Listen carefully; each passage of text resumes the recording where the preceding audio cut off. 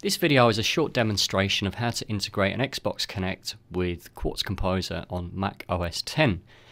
I'm using a couple of pieces of software which I've downloaded from the internet. You can find the links to these on my blog.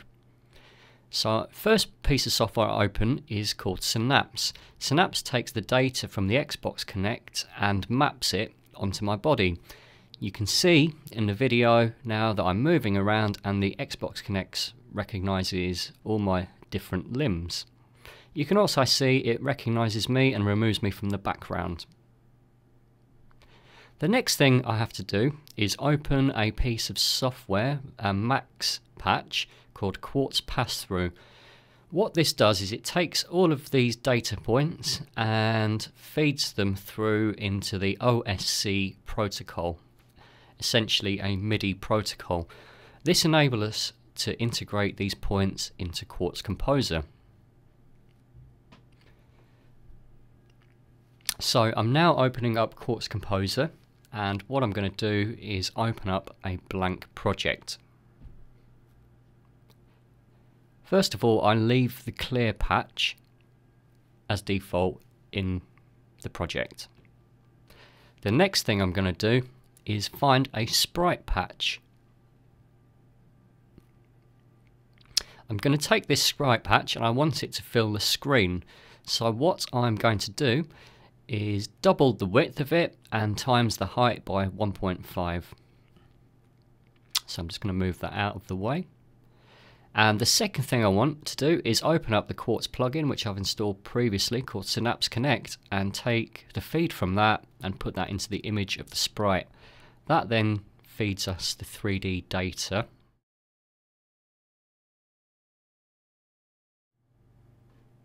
Now what I'd like to do is when I move my right arm about I would like a particle effect to follow that around. So what I've done here is opened up the plugin called My OSC and as I move my body around you can see all the different limbs, my head, my legs, etc. all appear in Quartz Composer in the patch. The second thing I want to do now is open up a particle system. And I'm obviously going to change this now so I am going to open up a the patch for lenticular halo. I'm going to take the image feed from that and turn that into the particle. And you can now see that is blended in with the video but it's not moving. So the next thing I need to do is add a structure index member that will take the data from each of these OSC outputs and I'm going to add three maths patches and these are going to convert the data into an appropriate form to move the image. I'll just move these out of the way. So now I have three maths patches. The first one I'm going to divide by the size of the screen, which is 640.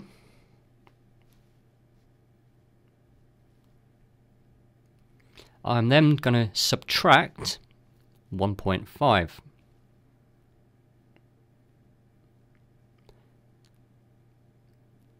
And finally, I'm going to multiply that by 0.5.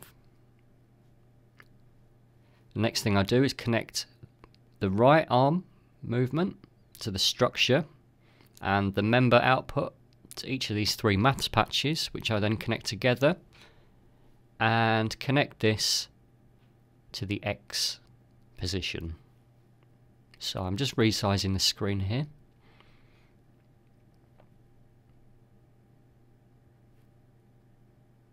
And then I'm going to connect that to X position. Now when I move my arm, the particles are now moving. Not quite right.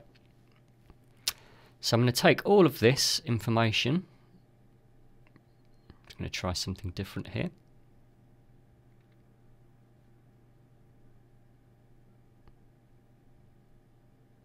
So I'm going to take all of this information and apply it to the y-axis so it now moves up and down as well as left and right. So I'm going to connect that up to the structure member index again. Remember to change the index to 1 on this I'm going to leave everything the same except for I'm going to divide it by 480 this time because the screen size is 640 by 480 and times it by minus 0.5. I'm going to leave the middle maths patch exactly the same. Now the particle moves with my hand. I've experienced some problems with this as I cannot get it to track properly yet. So I do think there's some problems with my maths, although I'm working to resolve that.